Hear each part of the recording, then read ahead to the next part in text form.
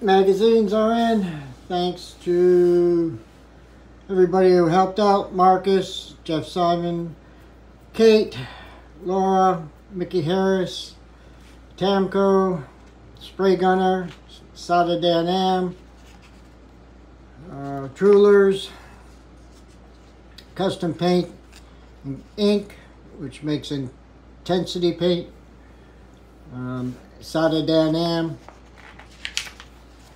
and of course Betta who does the cover.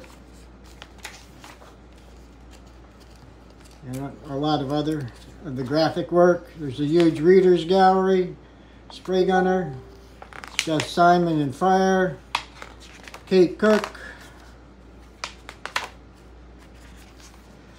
Came out nice. I hope you enjoy it. I hope you have a great weekend.